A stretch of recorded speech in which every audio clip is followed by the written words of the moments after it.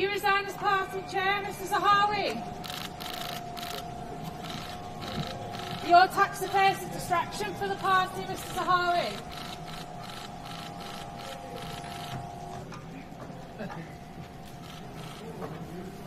Integrity and accountability is really important to me, and clearly in this case there are questions that need answering, and that's why I've asked our independent advisor to get to the bottom of everything, to investigate the matter fully, and establish all the facts and provide advice to me on Nadhim Zahawi's compliance with the ministerial code. I'm pleased that Nadeem Zahawi has agreed with that approach and has agreed to fully cooperate with that investigation. I think it's obvious um, that Zahawi can't stay as Tory party chair. The very idea um, that he can be discussing and negotiating his own tax affairs with the body that he's supposed to be running. Uh, everybody knows it's wrong.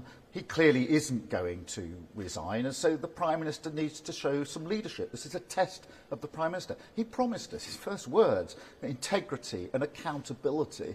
Well, if those words mean anything, the Prime Minister should sack him and sack him today and show some leadership. But What is the Prime Minister doing about it?